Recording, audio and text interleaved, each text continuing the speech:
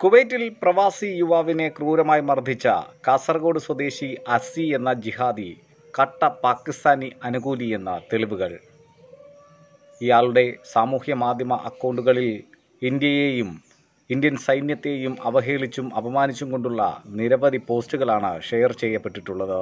പ്രധാനമന്ത്രി നരേന്ദ്രമോദി ഒമാനിലെത്തിയ വീഡിയോ സ്വന്തം ഫേസ്ബുക്ക് അക്കൗണ്ടിൽ ഷെയർ ചെയ്തതിന് പ്രവീൺ എന്ന മലയാളി യുവാവിനെ കുവൈറ്റിലെ ലേബർ ക്യാമ്പിൽ കയറി ആക്രമിച്ച ജിഹാദി കാസർഗോഡ് സ്വദേശി അസി കടുത്ത പാകിസ്ഥാൻ അനുകൂലിയെന്ന വിവരങ്ങൾ. ഭാരതത്തിനെതിരെയും നമ്മുടെ സൈന്യത്തെ അവഹേളിച്ചും നിരവധി പോസ്റ്റുകളാണ് ഇയാൾ സോഷ്യൽ മീഡിയയിൽ ഷെയർ ചെയ്തിട്ടുള്ളത്.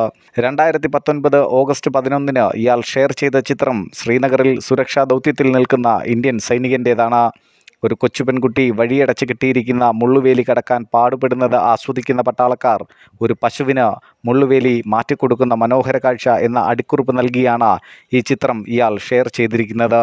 ചിത്രത്തിൽ ശ്രീനഗറിനെ വിശേഷിപ്പിച്ചിരിക്കുന്നത് ഇന്ത്യൻ ഒക്കുപൈഡ് കശ്മീർ അഥവാ ഇന്ത്യൻ അധിനിവേശ കശ്മീർ എന്നാണ്.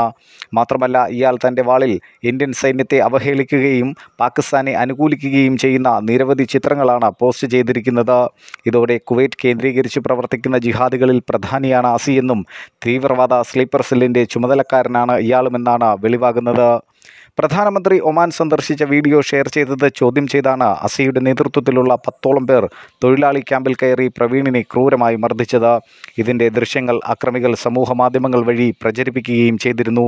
സംഭവത്തിൽ പ്രതിഷേധം ഉയരുകയും വിഷയം ആഭ്യന്തര മന്ത്രാലയത്തിന്റെ ഉൾപ്പെടെ ശ്രദ്ധയിൽ എത്തുകയും ചെയ്തതോടെ അസിയും ഇയാളുടെ കൂട്ടാളികളും തങ്ങളുടെ ഫേസ്ബുക്ക് അക്കൗണ്ടുകൾ ഡിലീറ്റ് ചെയ്യുകയും ചെയ്തിട്ടുണ്ട്. കാസർഗോഡ് ചുള്ളിക്കര സ്വദേശി അസി കൊല്ലം അഞ്ചൽ തടിക്കാട് സ്വദേശി അനീഷ് അഷ്കർ ഹനീഫ ഷനോദ് എന്നിവരാണ് തന്നെ ആക്രമിച്ചതെന്ന് കാട്ടി പ്രവീൺ കേന്ദ്ര വിദേശകാര്യ സഹമന്ത്രി വി. മുരളീധരന് പരാതിയും നൽകിയിരുന്നു. സൈബർ ആക്രമണം മൂലം മാനസികമായും ദേഹോപദ്രവം കാരണം ശാരീരികമായും തകർന്ന അവസ്ഥയിലാണെന്നും ആത്മഹത്യയുടെ വക്കിലാണ് താനെന്നും പ്രവീൺ പരാതിയിൽ സൂചിപ്പിച്ചിട്ടുണ്ട്. പരാതി കേന്ദ്രമന്ത്രി ഇന്ത്യൻ എംബസിക്ക് കൈമാറി. ഇന്ത്യൻ പ്രധാനമന്ത്രിയെയും സൈന്യത്തെയും അപമാനിക്കുന്നവർക്കെതിരെ കടുത്ത ശിക്ഷ ഉറപ്പിക്കാനാണ് കേന്ദ്ര സർക്കാർ നീക്കം. ഇതിന്റെ ഭാഗമായി കുവൈറ്റ് പോലീസിൽ പരാതി നൽകി. ക്രിമിനലുകളെ അഴിക്കുള്ളിലാക്കാനാണ് എംബസിയുടെ ആദ്യ നീക്കം. അക്രമികളിൽ രണ്ടുപേർ കേരളത്തിലേക്ക് വരാൻ നോർക്ക റൂട്ട്സിൽ രജിസ്റ്റർ ചെയ്തിട്ടുമുണ്ട്.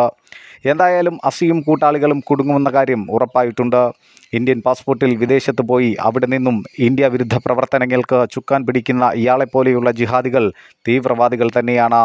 ഇന്ത്യയുടെ അസഹിഷ്ണുതയുള്ള ഇന്ത്യൻ ഒറിജിൻ പാക് അനുകൂല തീവ്രവാദികൾ. ന്യൂസ് ഡെസ്ക് തത്തുമൈ ന്യൂസ്.